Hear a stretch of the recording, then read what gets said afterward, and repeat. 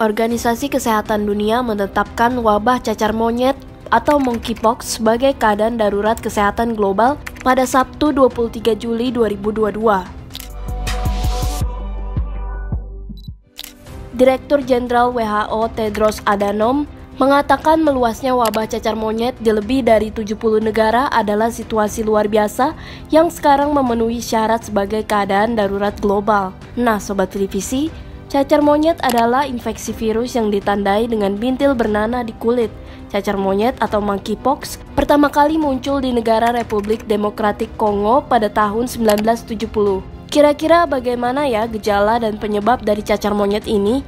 Yuk simak penjelasan dari Dr. Oki Ramadian, dokter spesialis penyakit dalam berikut ini. Gejala yang ditimbulkan adalah mirip seperti cacar air. Cuman gejalanya penampakannya akan menjadi lebih berat dan diameternya lebih besar-besar saja pada pustul ataupun benjol-benjol yang terjadi. Penularan terjadi pada monkeypox ini adalah kontak. Jadi kalau kita terpapar kontak langsung dari lesi atau luka terbuka pada penderita monkeypox, kita akan mudah terjadinya penularan tersebut. Bagaimana penularan dari udara?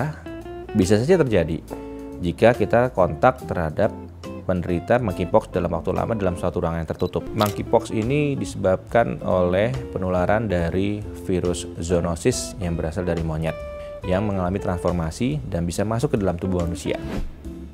Bagaimana cara pengobatan cacar monyet? Bagaimana pengobatan monkeypox? Monkeypox adalah virus. Virus adalah kelompok self-limited disease. Yang kita lakukan adalah istirahat, makan banyak, dan mencegah terjadi infeksi sekunder. Maksudnya adalah jangan sampai ada bakteri masuk ke badan kita karena luka dari kulit kita dengan cara menjaga higiene dan sanitasi.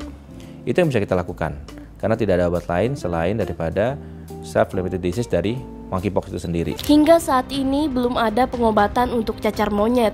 Penyakit ini umumnya hanya menimbulkan gejala ringan dan dapat sembuh dengan sendirinya dalam 2-4 minggu.